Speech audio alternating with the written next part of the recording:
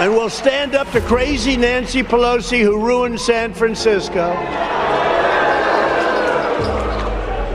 How's her husband doing, by the way? Anybody know? Some viewers may find the following video disturbing. Viewer discretion is advised. I'd like to punch him in the face, I'll tell you.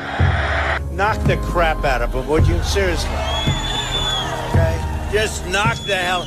I promise you, I will pay for the legal fees. 26 year old Rakeem Jones was punched in the face as he was escorted out of Donald Trump's rally last night. Yes, he deserved it. The next time we see him, we might have to kill him. Very fine people on both sides. Get the fuck out of here!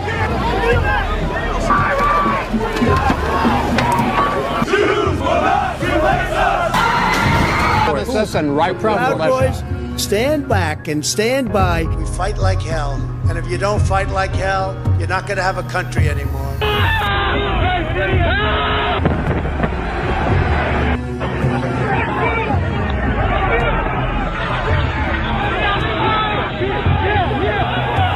Multiple Capitol injuries! Multiple Capitol injuries! Oh